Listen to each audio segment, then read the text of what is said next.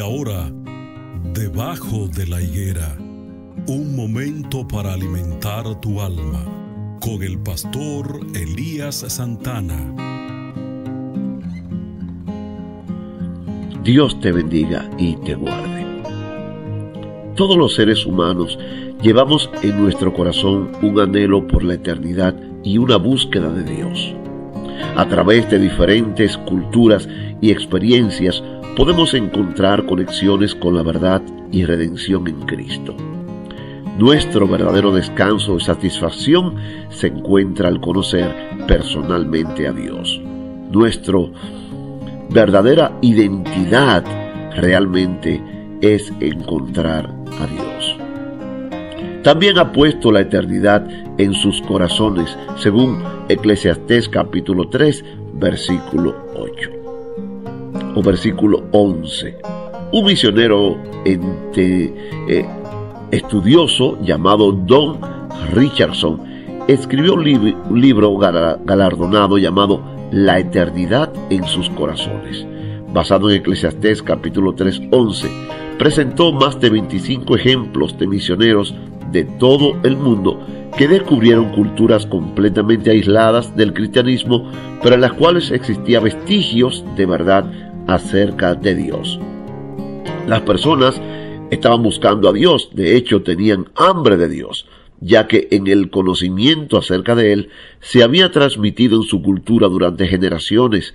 Llevarlos a Cristo requería poco más que explicarles cómo el Dios que había estado buscando había venido a la tierra en la persona de Cristo para salvarlo de sus pecados.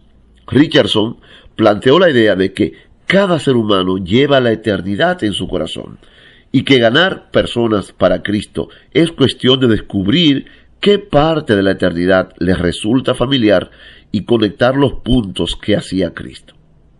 Dios ha puesto algo en nuestros corazones, un gesto o anhelo por la eternidad que no puede ser satisfecho a través de las experiencias de la vida.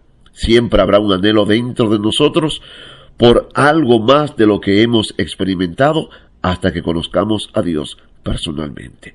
Incluso después que llegamos a conocer a Cristo, seguirá habiendo un anhelo porque la Biblia dice que todo o toda la creación está gimiendo esperando el día de la redención. Romanos capítulo 8, verso 22.